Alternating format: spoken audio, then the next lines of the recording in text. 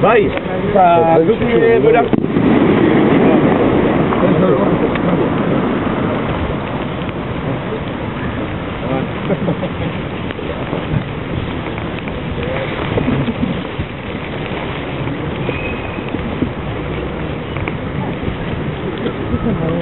Conmigo, no, no, no, no,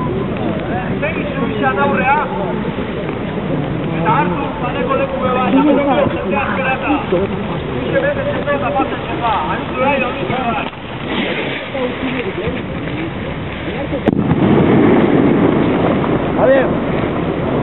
Vai! Baixa a piscalar! Dale, dale, dale! Demos campeão! Dale, dale, dale! Dale,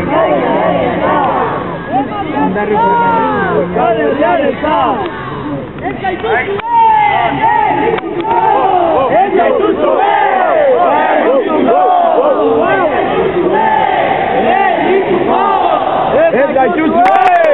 Eh!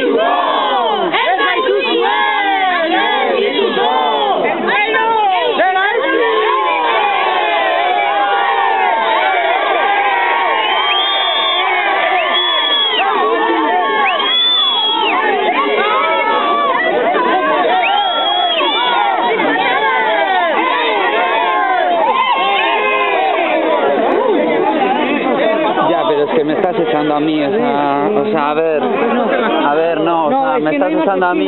¿Eh? O hombre. Venga.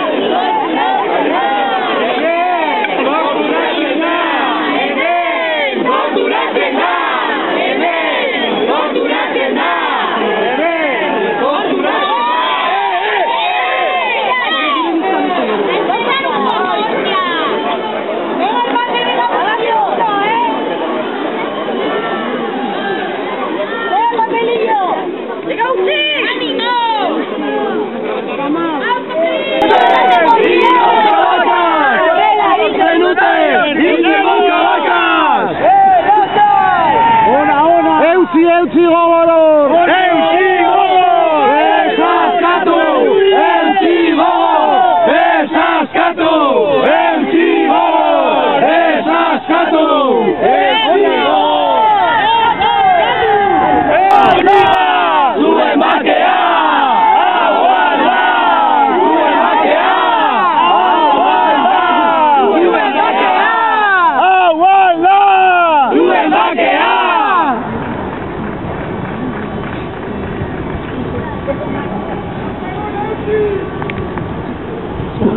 咱们一家人。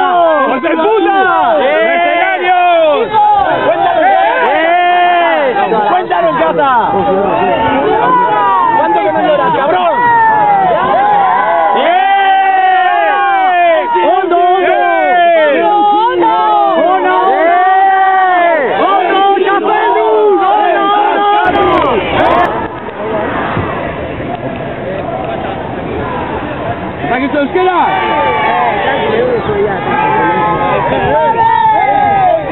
¡Asesinos!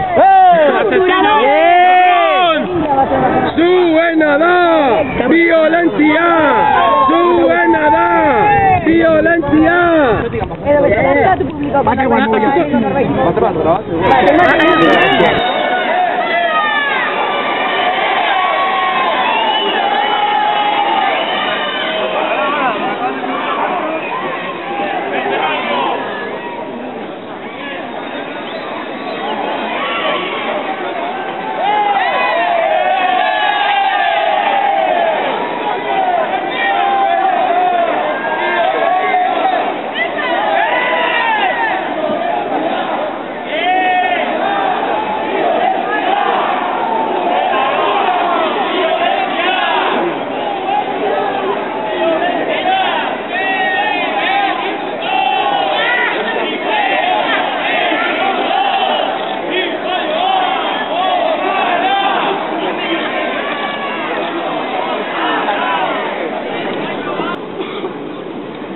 Eguerdion, danoi.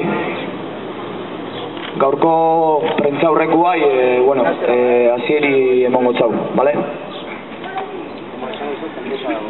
Gaur, herri arreziak irabazi du. Euskal Herriak irabazi du.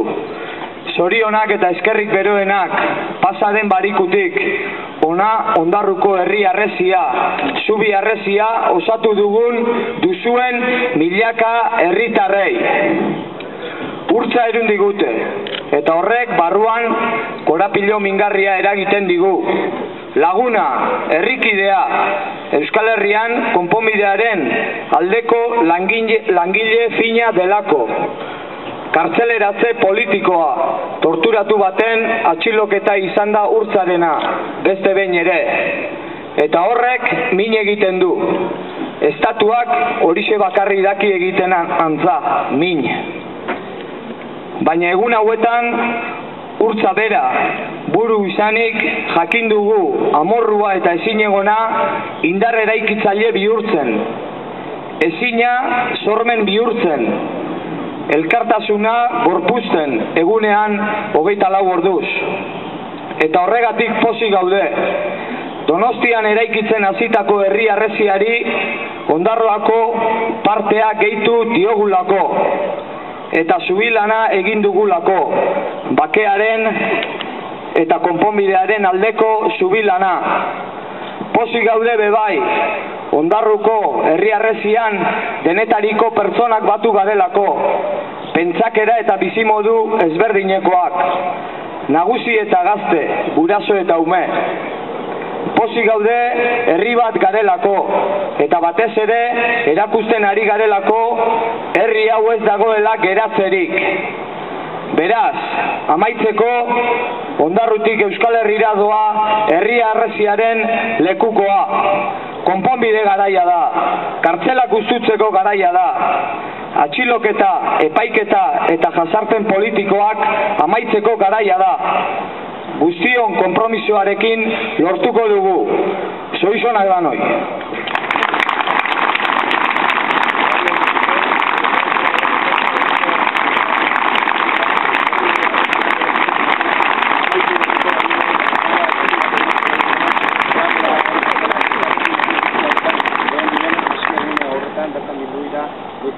Bueno, eh, lehen esan dugu emorun, eh, hon eh, igual alamedi jungo baginak bizkatez txukuntzea eta garbitzea, ba, eskartuko gentzuke, danoi, bale?